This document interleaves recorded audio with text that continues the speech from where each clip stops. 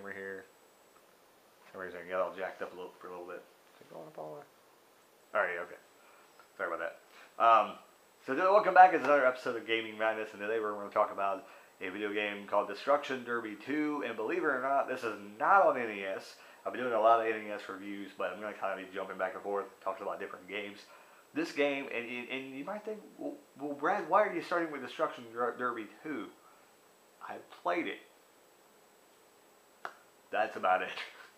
Um, I never played Destruction Derby 1. I, I actually believe I did, but I didn't really play it enough to really give it a full review. And, you know, some of these games I'll probably never play.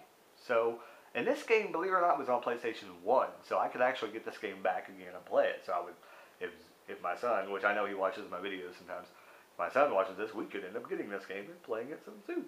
Sometime soon. You never know. Pretty fun game. You know this? Alright.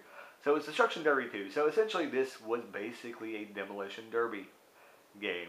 It was awesome. I loved it. It was cool. Uh, I remember my friend uh, getting this game and uh, my computer just shut off.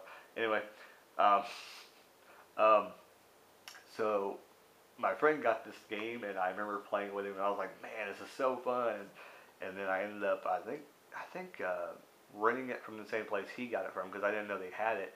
Um, I ended up getting a PS2, I believe, at one point, and renting the game um, when there were still places to rent stuff, and uh, it was an awesome game. I, I loved it. It I can't really explain why it's so good because there's been other games like this, but this game just did it right, you know. And uh, I don't know what else to say about this game. It's just really good. Um, Destruction Derby 2, you know, it's it, you you pick your car. I don't really remember much honestly about it, but I know it's a demolition derby game, and I just remember being so much fun that you it, it, it just worked. Like some of these games, you, you some of these racing games. I mean, I mean, I'm not a racing person. I don't really like racing games. I've tried to play Gran Turismo. I'm just not a big fan of it. I don't I don't like the way that the controls are wonky. Uh, I just don't understand the racing aspect. You know, um, a lot of people were gonna bash me, but Mario Kart, uh, you know I like it, but I'm not like a big fanatic about it. You know, like everybody else is, is saying it's awesome, it's awesome. It's okay, it's okay. I'm not. Uh, but that's, that's like I'll do that review some other time. Um, but you know, Destruction Derby 2 was, you know, it's one of those games that's really close to my heart, and and that's what this series is about. You know, I'm probably going to talk about games that I really enjoy, and some of the other games I'm going to talk about that I have played, and I'll probably give my honest review um, later on, but I'm kind of just hitting the games that I, that I know of that I really like. And this was one of the ones that really kind of resonated with me. It's actually probably one of the last video games that I can honestly say. I mean, besides uh, Grand Theft Auto San Andreas, um, which I'll go on that in another video. Um, but Destruction Derby 2 was really like one of the last games that on the PS1, I believe, that I played before PS2 um, came out. And I actually think PS2 was out when we, we were playing this game. Because I believe my friend had a PS2 and he was playing this game. Um, but on there.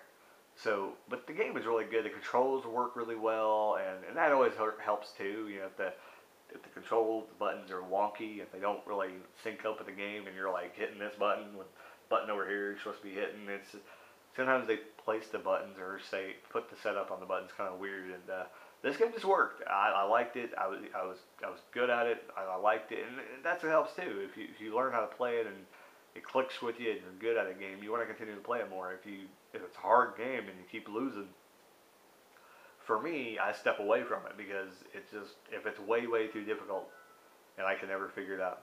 My computer's restarting over there, being weird. Um, but yeah, sometimes I'll step away from it. So this game is really good. Uh, Destruction Derby 2, if you've never checked it out on a PS1, um, if you have a PS3, you can play it. I don't. I think PS4. Can you play PS1 games on the PS4? I don't know. Um, I got a PS3, so uh, I know you can play it on there. Um, but definitely check it out on the PS1. Uh, Destruction Derby 2. There you go. Comment down below if you've ever played it. Let me know what you think about it. Uh, let me know what you think about Destruction Derby, the original one, because I think I played it, but it just didn't. I, I, I just didn't really care for it. So, but um, yeah, it wasn't. It wasn't as good as two for some reason.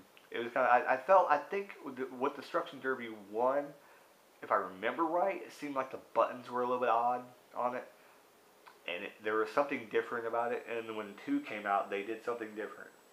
Um, I think in Destruction Derby one was just a racing game, if I believe right, and then they added the Demolition Derby thing on number two, if I believe right, because I remember renting that one, and, and it being different.